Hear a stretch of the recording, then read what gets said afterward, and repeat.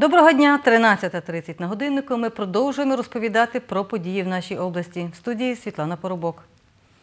Апарат Сигмоскоп для гастроентерологічного відділення обласної дитячої лікарні півгодини тому привезли представники міської громадської організації Розвиток. Вартість обладнання 15 тисяч євро. Досі сигмоскопу в обласній дитячій лікарні не було, повідомила головний лікар Віра Руда.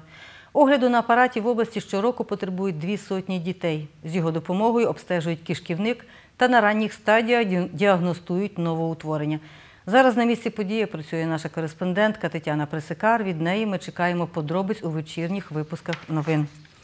Мешканці трьох вулиць обласного центру Староміської, Шестакова та Паркової завтра залишаться без води. Інженер із зв'язків з громадськістю Хмельницького водоканалу Сергій Буряківський повідомляє, водопостачання припинять з 9 ранки до опівдня через планову заміну запірної арматури. Води не буде на Староміській, на ділянці від Соборної до Шестакова, на вулиці Шестакова від Подільської до Староміської та на Парковій від провулку Шестакова до Староміської. У Хмельницькій арт-галереї Масло показують про акт. Із такою назвою тут стартував проект митця із Києва Сергія Панасенка. В експозиції живопис, скульптура і тотальна інсталяція, що доповнюють одна одну та заповнюють собою весь простір мистецької зали. Через це інсталяція і тотальна пояснює мистецтвознавець Катерина Носко. Художник запрошує відвідувачів виставки до співучасті, провокуючи їх на експеримент. Більше про все це у випуску новин о 17.10 розповість Ольга Нєсміянова.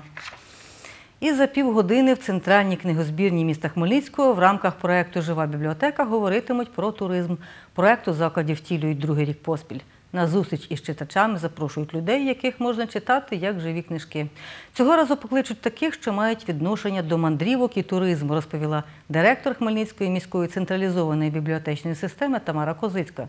Читачі почують, як одночасно поєднувати улюблену справу із подорожами.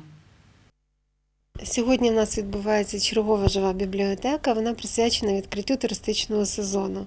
Цей проект у нас вже діє два роки, вже пішов третій рік, і вона дійсно настільки популярна серед наших користувачів, через ну, серед хмельничан, що ми її, закінчуючи бібліотеку живу, плануємо наступну.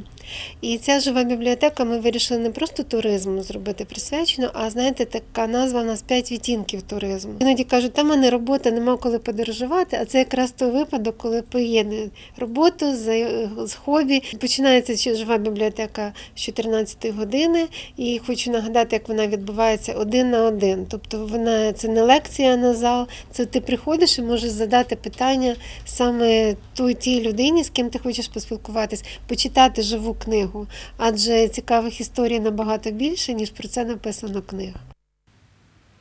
У Хмельницькому триває фінал обласного етапу всеукраїнських змагань з футболу на призи клубу Шкіряний м'яч серед 14-річних гравців.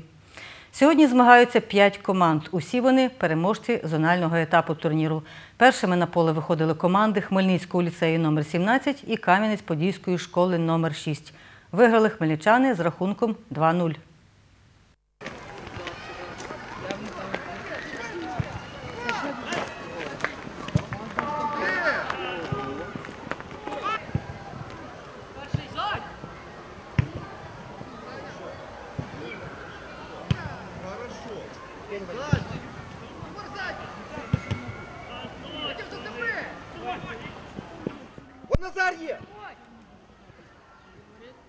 Ми знали, що ми будемо ну, типу, в фіналі області. Зараз грали проти Кам'янця, виграли 2-0. Грати будемо проти Шепотівки, виграємо Шепотівки, граємо в фіналі. Перша проблема була в защиті. Не було ігроків, які крили. Прилітав м'яч. Ну і центра поля теж не було. Ну, у нас були шанси, але не використали їх. За матчами стежить наша знімальна група і більше про турнір ми розповімо у випуску новин о 17-й. І сьогодні стануть відомі фіналісти чемпіонату Хмельницького з баскетболу Метеор та ХНУ зустрінуться у першому півфіналі. Гра розпочнеться о 19-й годині у спортивній залі Хмельницького національного університету, повідомив головний суддя змагань Юрій Тришпит.